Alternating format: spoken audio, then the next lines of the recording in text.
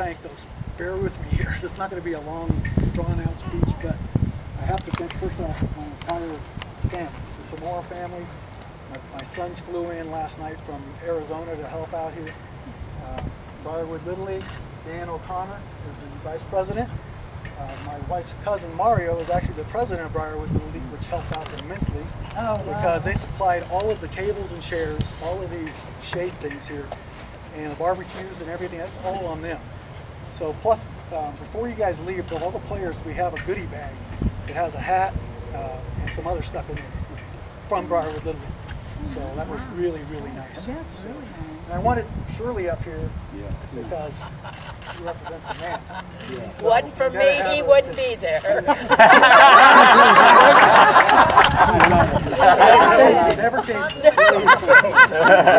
So actually also, uh, I want to thank in, in organizing this thing, the single toughest thing to do that I stressed about more than anything else, and I started thinking about this two or three years ago, uh, because I knew this was going to be a special day for all of us, uh, was how to locate guys. How in the heck am I going to do this? And this actually started about three months ago or so in Olmer's backyard in Prescott, Arizona.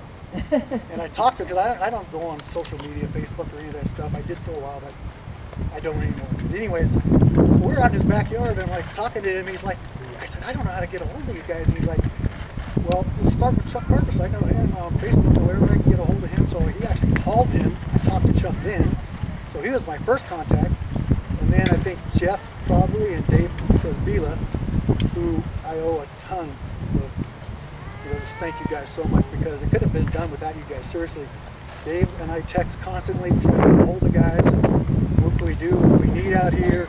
Jeff was able to contact a number of guys. Wayne, Kia, and Rick Ulmer uh, through social media, and Wayne got hold of Jeff just a and he was going to be here. So um, my biggest fear was doing this thing and then you know we knew that Mercury was going to be here in the Santa Clara Weekly.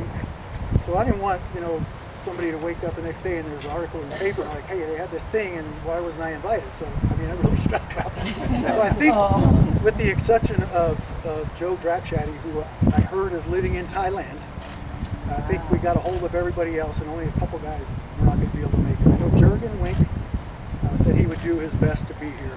Uh, Chuck will be here Harvest he said he might be a little bit late, but he'll be here. So I just want to thank all the guys and your families for making the effort to come out here. Some of you guys came from a long ways. Thrilled to have the Quinn family here.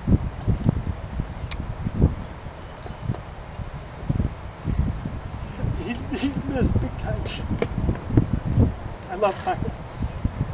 I think we all felt that way about him. Uh, he was a, a dear friend uh, all the way through high school and, and later. So it- it's, it's sad for me that he's not here, but thank you for bringing the photos and the stuff that you, you did bring here for that. So we, it's, it's, for me, to meet you guys and your families is a real pleasure. Um, anything else that I'm leaving out there? Anybody? Yeah, we're gonna start doing burgers and we got all the stuff that, that, uh, I gotta thank those guys so much for all the shopping and cutting and dicing and making all these hamburgers and stuff. And uh, some of my other family members are going to grill them.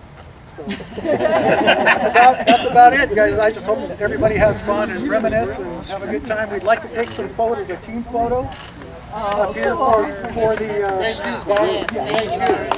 Thanks, Tony. Five, six and a half. Okay. Because I got a jolly. I'm gonna turn my nightlight on. Belly and, uh, Oh, there's Debbie. How you doing, Debbie?